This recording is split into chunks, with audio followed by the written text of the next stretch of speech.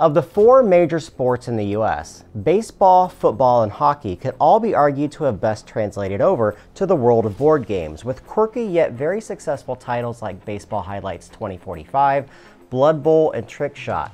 And although there have been a number of basketball games released over the years, it remains unfortunately the one major professional sport that is still looking for a breakout title. Well, in today's sponsored video of Hoop Godz from publisher Board Game Brothas, I'll be giving you a brief look at this upcoming two-player Kickstarter game that draws its inspiration from a very fun to watch and growing community of 3-on-3 basketball. So 3-on-3 basketball has really been around for as long as basketball itself, and it's well known for its fast-paced, creative style of play and has been popularized by legendary teams of street players whose names have transcended their local playgrounds and gyms. In fact, for the first time ever, 3-on-3 basketball was set to debut as an official Olympic sport during the 2020 Summer Olympics, which were unfortunately canceled due to the ongoing effects of the pandemic. Which brings me to Hoop God itself, a pretty faithful translation of the quick playing, fast paced style of street level basketball, but this time with no refs, no fouls, and no free throws. So it's all about grabbing seven points as quickly as possible by taking advantage of your positioning on the court in this short 30 minute game of wits.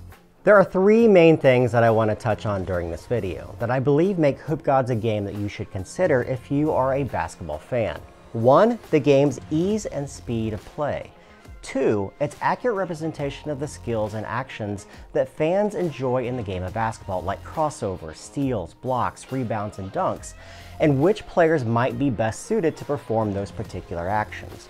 And three, the way that the game handles action management through the use of energy. Let's start with the most simple of the three, the game's ease of play. Hoop Godz at its core is a fundamentally simple game to understand and is played out on a court of basketball filled with two types of hexagons, dark and light. Light hexagons on the court represent locations where players can shoot to score two points, while dark locations represent three-point opportunities for players instead. Players will take turns back and forth until one of the two teams scores seven points or until time runs out, which can occur faster as teams rest in order to regain their lost energy. On a player's turn, they will typically attempt to take one of the three basic actions or card actions to move their team into a position on the court that will allow them to score points, each action taking a specific amount of energy in order to carry out. The opposing team will also have a number of cards that provide them with ample opportunities to respond to the actions of their opponent, also requiring their own amount of energy, effectively allowing both players to play defense when needed and when in position on the court to do so. When players can't defend against the actions of their opponent, cards typically take effect automatically, like stealing the ball from an opponent who can't cross over to defend, or taking a shot without someone having the energy to try and block the shot. But when a player can respond to a player's card action with a card of their own, then players are forced to have what is called a dice battle, where players roll dice in an attempt to match the icons on their played cards, with the winner being the only one to take the action of their played card. These dice battles can be played in either two types of forms, real time, with the players frantically rolling their dice trying to match the icons on their actions until one player wins, or can be played in a turn-based mode, where players roll and re-roll their dice together at the same rate of speed.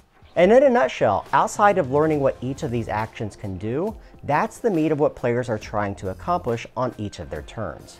Which leads me into number two, which starts with each of the two teams drafting a team of three ballers, each with unique skills and abilities as well as one of three different heights. Short players, average players, and then finally tall players. Each of which affects their ability to perform certain actions in the game, like tall players being better suited for rebounds and dunks, while short players are better at action cards with crossovers and steals, providing those ballers with advantages like consuming less energy, or maybe rolling more dice when they're attempting those particular things.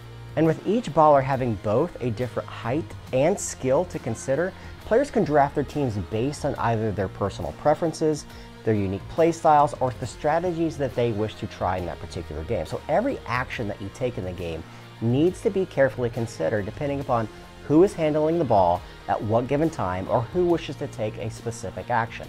All of which play into each of the decisions that you must make on your turn, making sure that you're always in the most opportune position to take advantage of your baller's strengths as well as their weaknesses. Which leads me to number three.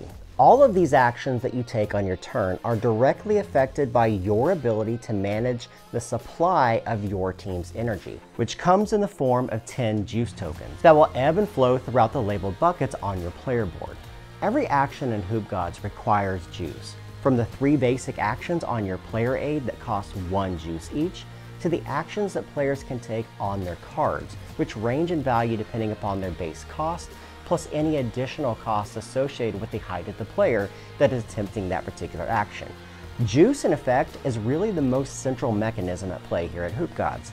With each action requiring juice, it's imperative that players learn this mechanism first and foremost because it requires players to manage their reserves in order to string together multiple actions in a row, or to maybe hold back juice in order to defend against your opponent's advance.